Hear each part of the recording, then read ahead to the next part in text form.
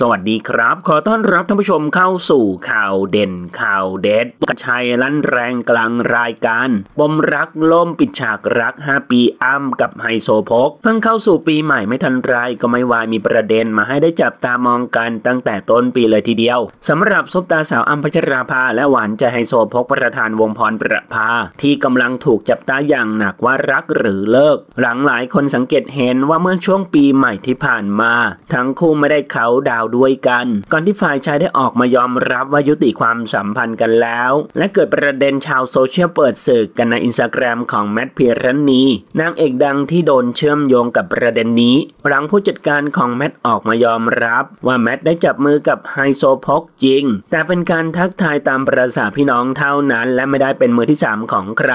ล่าสุดทางด้านหนุ่มกัญชัยก็ได้ออกมาพูดถึงประเด็นดังกล่าวในรายการข่าวใส่ไข่ว่า พอจะรู้ว่าอะไรมันเป็นอะไร แต่มันก็ต้องเคารพตัวของอัมพกเขาด้วยไง บางทีไปตั้งข้อสงสัยแบบนี้มันทำให้เกิดความสับสนว่าเกิดอะไรขึ้น มันก็มีทั้งจริง ทั้งไม่จริง ทั้งใช่แล้วก็ไม่ใช่ เรื่องบางเรื่องอาจจะดูจริง แต่มันอาจจะไม่ใช่อย่างนั้นก็ได้ มันหลายอย่างคือเจ้าตัวเขายังไม่ออกมาพูด แล้วเราจะสารแนมาพูดทำไมอย่างไรก็ตามต้องติดตามเรื่องนี้กันต่อไปครับท่านผู้ชมละครับ มีความคิดเห็นอย่างไรกับเรื่องนี้ลองแสดงความคิดเห็นกันเข้ามาดูนะครับ ขอขอบคุณข้อมูลจากสยามนิวส์ขอบคุณครับ